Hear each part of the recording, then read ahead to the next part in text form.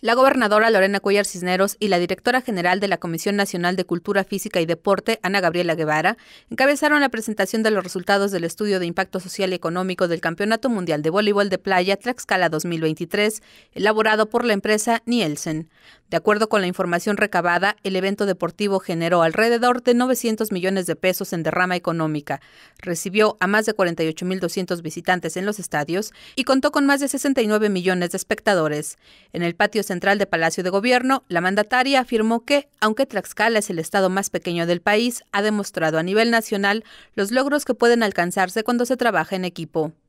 Un mundial que hoy albergó a miles de visitantes, que la derrama de, de haber logrado desde el inicio al fin prácticamente cerca de más de 900 millones de pesos para beneficio de este Estado fue grandioso. Fue una gran oportunidad para dar a conocer a Tlaxcala en el mundo entero. En tanto, la titular de la CONADE, Ana Gabriela Guevara Espinosa, detalló el impacto económico que tuvo la justa internacional. Bien, el impacto total económico y mediático en, el Mundial fueron 5.2 millones dentro de los espectadores, dentro de los eh, asistentes 3.1 eh, millones, el comité organizador 4.4 millones y el total de impacto económico directo 12.7 millones de dólares. Eh, esto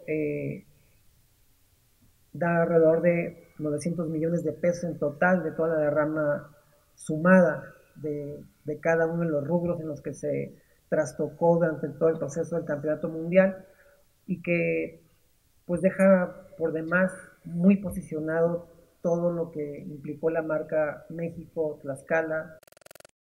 De igual forma, enfatizó que el Mundial de Voleibol de Playa marcó un antes y un después que puso a Tlaxcala en los ojos del mundo, ya que es la primera ocasión que esta competencia se desarrolló en plazas de toros y contó con una ceremonia inaugural.